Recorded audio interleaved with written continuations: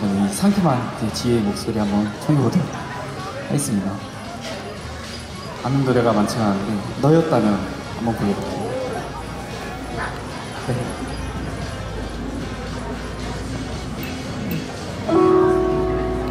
아, 아, 아, 아.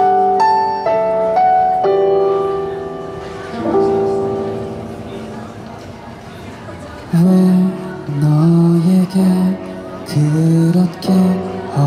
어려운지 애를 쓰는 나를 제대로 봐주는 게 너 하나에 이토록 아플 수 있음에 놀라곤 해 고단했던 하루 나는 꿈을 꿔도 아파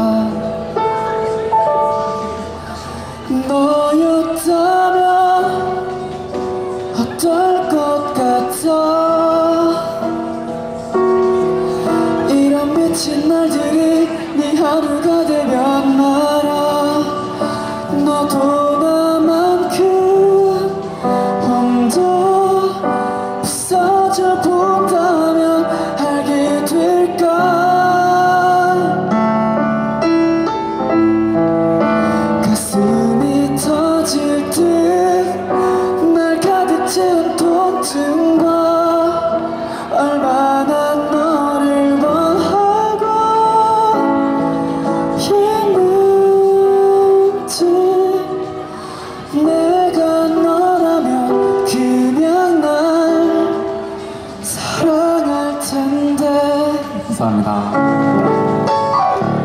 정승환님 신청해 주셔서 정승환님 너였다면 불러드릴게요.